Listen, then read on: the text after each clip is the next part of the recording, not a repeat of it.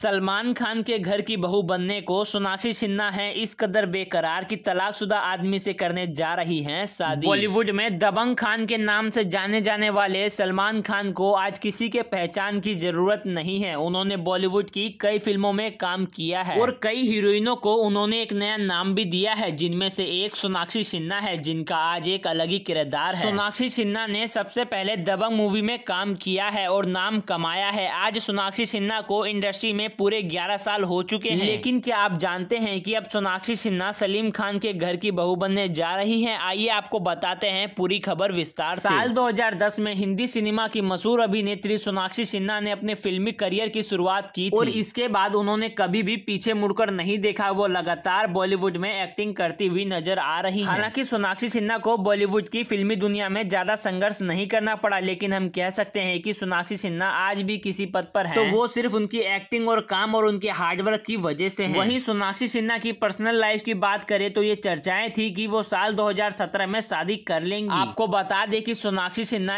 ऐसे ही एक लड़के के साथ पिछले कई सालों से रिलेशनशिप में जो सलमान खान के घर से ताल्लुक रखते हैं अगर सोनाक्षी सिन्हा उस लड़के से शादी करना पसंद करती है जिसे वे डेट कर रही है तो ऐसे में संभव है की सोनाक्षी सिन्हा बहुत जल्दी सीधे तौर पर सलमान खान के परिवार से जुड़ी हो आपको बता दे की सोनाक्षी सिन्हा जिस लड़के को डेट कर रही है वो सलमान खान के छोटे भाई सुहेल खान का साला है अब आप समझ सकते हैं कि सोनाक्षी सिन्हा अगर शादी करती हैं तो वो सलीम खान की बहू कैसे बनेंगी